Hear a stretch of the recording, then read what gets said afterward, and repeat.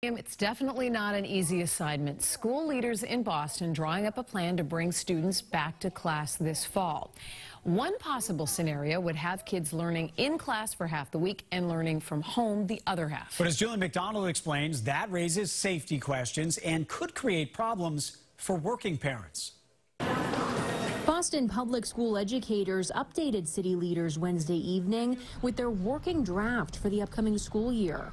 A hybrid plan alternating groups in the classroom and online seems to be most favorable. Because it's not really possible for us at the Boston Public Schools to have school reopen with all of our students in our school buildings on day one because we can only put 50% of the number of students on our buses that we did in the past. They're still eagerly seeking parent input.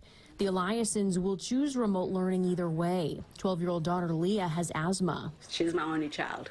I'm not going to risk her life. I can, I'm doing the best I can at home with her. Planners acknowledge they may have to switch gears depending on fall COVID trends.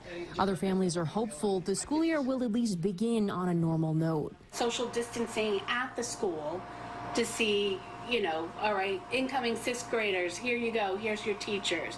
And you just go there and meet them. School leaders are still reviewing classroom air filtration and looking for safe remote learning locations when parents are working. As plans take shape, Boston families are invited to an online meeting Saturday morning.